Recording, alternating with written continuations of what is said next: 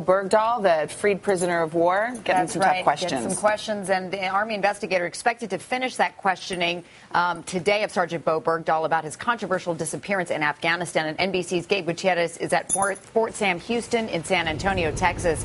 Gabe, good morning. Natalie, good morning. Sergeant Bergdahl's attorney says his client has waived his right to remain silent and is cooperating fully, apparently eager to tell his story and get this off his chest. This morning, Sergeant Bowe Bergdahl is preparing to wrap up his first formal meeting with an Army investigator following his release by the Taliban. I think it was important and uh, useful for him uh, to be able to tell his own story and not have it told for him by anyone else. Eugene Fidell is Bergdahl's attorney. He says his client was read his rights Wednesday before the interview began at Fort Sam Houston, but Bergdahl answered every question for almost nine hours. This was really uh, a conversation. I think much of it was narrative uh, on Sergeant Bergdahl's part.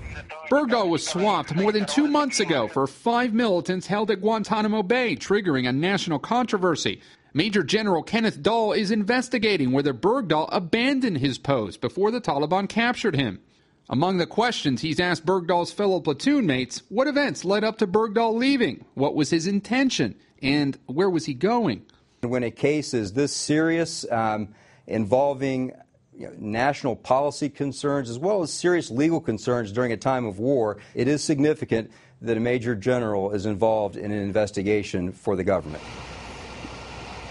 That interview is expected to resume later this morning, and Bergdahl's attorney expected, expects it to last just a few more hours. After that, it'll be up to General Dahl to make a recommendation as to whether Bergdahl should be charged. And Natalie, that recommendation could come later this month. All right. Gabe Gutierrez in Fort Sam Houston, thank you.